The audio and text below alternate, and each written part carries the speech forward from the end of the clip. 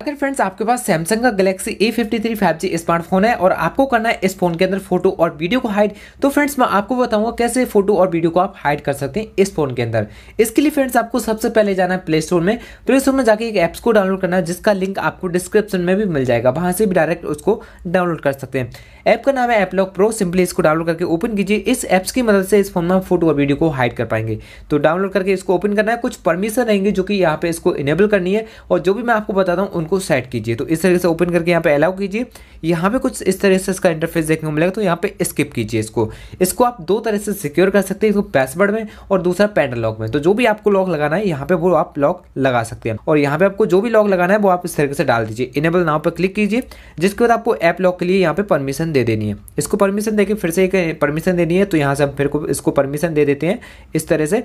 अब आपके सामने यहाँ देख सकते हैं, कुछ ऐप लॉक करने के लिए आपसे बोलता है। अगर ऐप लॉक सेट करना चाहते हैं तो यहाँ से इस तरीके से ऐप लॉक के लगा पाएँगे। फ़ोटो हाइड करना तो उसके लिए आपको फ़ोटो पर क्लिक करना होगा। प्लस के आइकन पर जाना होगा। यहाँ आपकी गैलरी खुल जाएगी। तो आप गैलरी में से कौन सा फ़ोटो हाइड करना है, उस फोल्डर पर क्लिक कीजिए। जिसके बाद यहाँ से आपको फ़ोटो सेलेक्ट करने कुछ इस तरह से, जैसे कि आपको मल्टीपल यहाँ सेलेक्ट करने का भी ऑप्शन देखने को मिलेगा।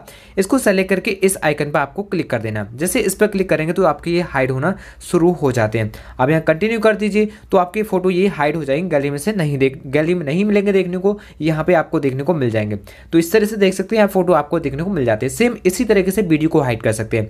इसके लिए आपको वीडियो पर क्लिक करना है, प्लस के आइकन पर जाना है। आपको उस फोल्डर में जाना है, जिसमें सब वीडियो आपको हाइड करनी है। और इसके बाद आपको मान लीजिए ये वाला वीडियो हाइड करना है तो इस पर सेलेक्ट करना है और इस पर ही क्लिक करना होगा तो अब आपकी वीडियो भी हाइड हो जाएगी। अब मैं आपको बताऊँगा इनको एक्सेस कैसे करेंगे और अनहाइड करना है तो अनहाइड कैसे कर पाएँगे।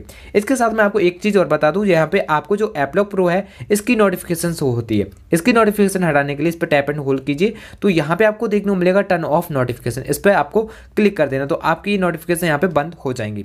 तो इस तरह से नोटिफिकेशन को आप बंद करा सकते हैं अपने एपलॉक प्रो की।